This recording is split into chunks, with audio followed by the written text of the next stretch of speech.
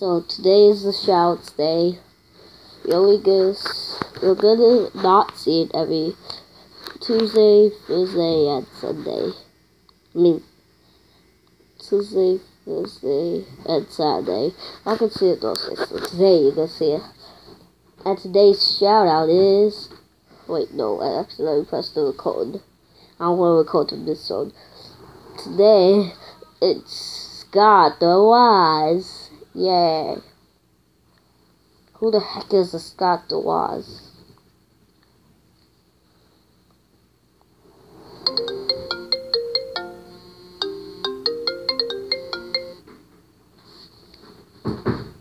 What the? Hold on.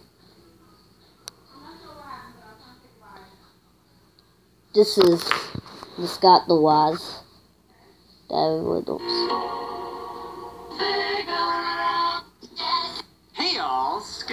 Scott That's too bad. Damn it! I own Sonic Jam. It's a pretty rare game, but I don't want to be known as the guy who owns Sonic Jam when I'm dead. If you tell somebody you collect video Ah, games, you are most shit. definitely going to get the question, what's the rarest game you own? On that one. I firmly believe if you want to collect stuff and have fun while doing it, it's best to do it with things you legitimately enjoy and not just collect it because, oh, it's worth something. I collect the games I want to collect and play eventually. Rarity or value really matters to me. However, it is really interesting to know. I think I called Zero Remastered because I wanted it, but now that it's $70, I guess this is my personality now. But that's beside the point. There aren't infinite copies of all video games available. I know it feels like there's a connected adventures every few inches, but I guarantee you there's a finite amount. Some video games are as common as leaves, but then there are the video games that just never sold that well or just never had a ton of copies produced. Now, a game can be rare right from the get-go, but mostly the value increases over time as more and more people realize, God, that's a rare game. I want that. Well, let's lay this out right here. Rare games aren't always valuable, and valuable games aren't always rare. A game's value comes down to how many people want it and how many people are willing to pay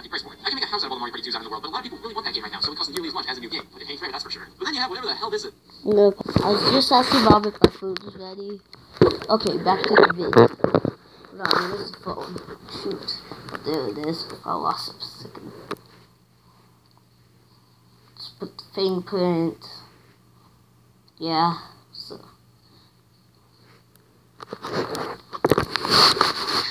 Yeah, I'm just gonna. Copy any game can be slightly altered to become the rarest version of that game. See? Here, look.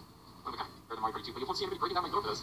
Maybe. Technically, any copy of any game can be slightly altered to become the rarest version of that game. See? The only thing that'll make this valuable is if somebody's willing to pay 300 for. Everybody's obsessed with the rarest games of all time, owning the rarest games of all time, playing the rarest games of all time. Yeah. As long as they're worth something. Now I'm only interested in- Robert is awesome. God is awesome. of all time. Help you pay off some fun debt. Well, what do I constitute as a rare game? Well, something that's uncommon, of course. I think the only rare games that get attention are the ones that sell for ridiculous amounts of money. You couldn't pay me to pay this much. It doesn't help that a lot of articles go up detailing old vintage things you might have in your attic that might be worth a fortune. Yeah, an original Game Boy is rare. It's like $700. Yeah, okay, no. I mean, all you have to do to feel better about owning something is to search for it on eBay and sort the listing from highest price first. I'll think about it. I remember when a bunch of people thought they totally scored after a bunch of articles. What? VHS tapes old Disney movies were selling for. Ah, that's not the case. That's how much some sellers are asking for these things. People buying for that much? I hope not. The value of rare items is only as much as. Um, my mom, I was just saving this.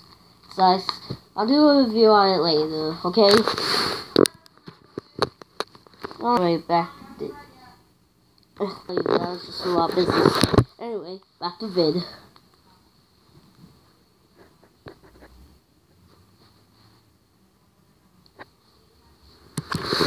spent on it. In my opinion, no game is worth more than the original asking price. The next thing. It's the price break. It's sold all the time, so you know the average going price of these things. But if I'm gonna pay top dollar for a game, it may as well be the rarest of all time. Hey, who knows? Let's look at my collection and see if I already own rare games. Well, this is it. These are the elusive games in my collection. I have lot of heavily desired games that go for a lot of money, but these I are rare. I got the rotate. Nintendo. I only got the Sonic Jam on Sega Saturn. This is probably the rarest game I have. I have Gravity Rush Remastered. Robo, Trivia Challenge, Game Boy Chronicles.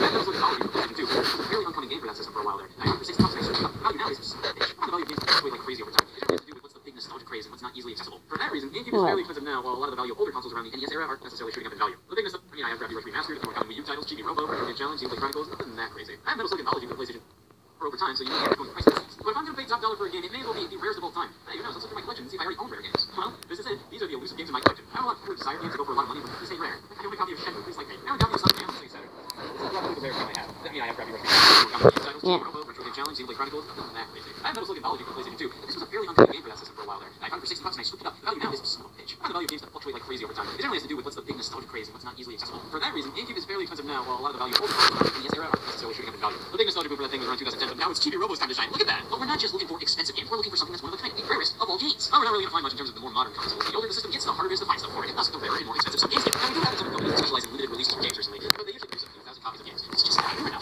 enough. It doesn't mean these things might skyrocket in value in 10 years, but for now, of like Space Trap, 5,000 copies big fucking. I feel like one of the most likely candidates for an intentionally rare game that's going to skyrocket in value is Axiom Verge on Wii U. Only 5,000 copies on a system nobody's heard of. It's of a ticking time bomb of profit. There is that game for the PlayStation 4 that I refuse to say because I'll fucking die laughing. This had a similar limited release strategy with only around 1,000 copies produced. However, the company that sold it was run by one guy who ripped off the Limited Run Games logo, sold the game on April Fool's Day on a website that looks like something you should give your just thought the release was a joke, but it happened. Only around 80 people bought copies, and the 900 or so copies that were left unsold, who knows what happened to them. So this takes the reins for the current rarest game of all time. Let me point this away from the door in case anybody walks in. If we go back a generation, games start to get a little more pricey. The PlayStation 3 and Xbox 360 don't really have many expensive games that have collector's editions, but the PlayStation 3 has NBA Elite 11, and games put some copyrights on these old retailers. Now, how many copies actually exist in this game? If I had to guess, I'd say something in the low triple digits, but who knows? There we go. We have another candidate for the rarest game of all time. Boom. Nothing on the Wii, DS, or PSP even comes close to this being which is why we should go back another generation. Gotcha Force, is probably the rarest standard GameCube game, and I guarantee that's the sole reason most people want it. There's also NCAA College Basketball 2K free. Years very expensive as Gotcha Force or Elite 11. Hey, two rare basketball games. You have to admire that. There's Ninja 5 Open Game Boy Advance, which is even more expensive than Gotcha Force. The money per square inch is through the roof on this thing. Rule of Rose on the PlayStation 2 and Italian on Xbox are up there too. These games all go to eBay just packing go on Hey, eBay and it's handle shaky a lot. How we're starting to get more into the golden age of video game rarities. Information wasn't kept up nearly as well in the past as it is now with video games, so there are a ton more oddities as we go back. Clay Fighter Sculptor's Cut on Nintendo 64 is the crowning jewel of that platform, and it's not even good. Oh, Paper 100, it was a blockbuster exclusive update to Clay Fighter 63 and a third, and there were around 20,000 copies produced. Well, I don't give a shit anymore. This is ridiculous. All these rare games have 5,000 plus copies made of them. The only rarer than rare games we've seen so far are the Death of Society and a basketball game. And I've already played a basketball game within the year. I don't want to do it again. The PlayStation 1 is fairly reasonable prices all around, but none compare to LSD Dream Emulator. Oh, the rarest Game Boy game, definitely Amazing Tater, going for a whopping. Ah. Game Boy Color had a ton of late system support, even when Game Boy Advance was alive and well, but easily the rarest of the Game Boy Color games was Shantae, going for a few hundred bucks. It's not rare enough. That's Either one or two, right?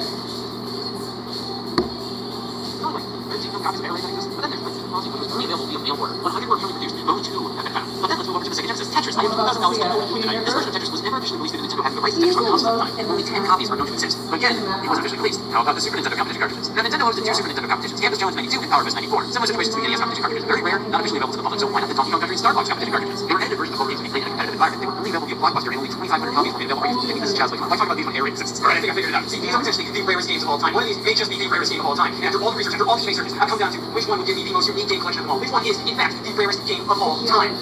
It's time to look alive! Yeah. Oh, we have time for one of his shots. Okay? I better hurry up.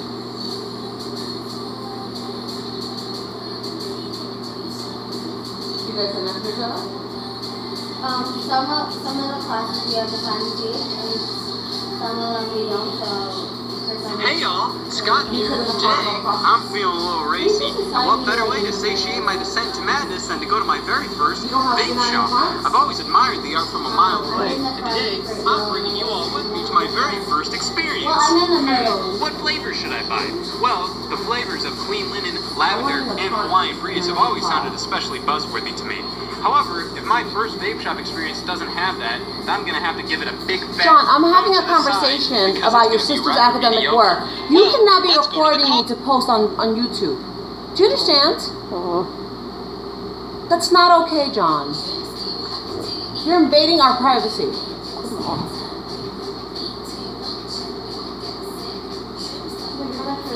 Yeah, are you wearing like just a sweater? Well, in the it. Did you have gym today? Is that why you wore those clothes? Did you get your slip? Huh? Did you slip wait, I forgot about that slip. He didn't yell at me though. It Here, we're picking up my anonymous friend Joe Robertson, who has opted to have his identity concealed in this vlog, which I happily agree to. Here, we've arrived at Joe Robertson's home address, 8730 Waterville Swine Road, Waterville, Ohio. Um, we're gonna go pick up some other cloud cousins. Um, common misconception about vaping is that you have to wait half an hour yeah, after I eating. don't think this is the way. What color are you doing next? Probably yellow or This doesn't seem that interesting.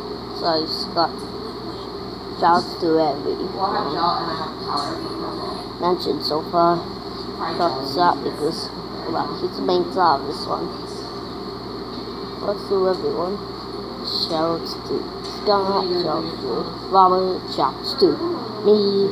I'm subscribe to Robert, subscribe to Scott, subscribe to me, subscribe to my sister, subscribe to my mom, subscribe to everyone I They tell us mentioned. to download stuff, but we barely. I'll see you guys next time. Bye. But wait, before we're done? I wanna say, apologize that Evil Gumby's not really in this video. So, yeah. Evil Gumby will be in the next one I upload. Oh yeah. your fault. You guys are watching, comment, subscribe to me, to Scott, to Robert, to my sister, to my mom. Did I See you talk to you guys next time. I don't know. Bye. Sometimes I feel like I don't talk to you. Like And make sure to do everything I say.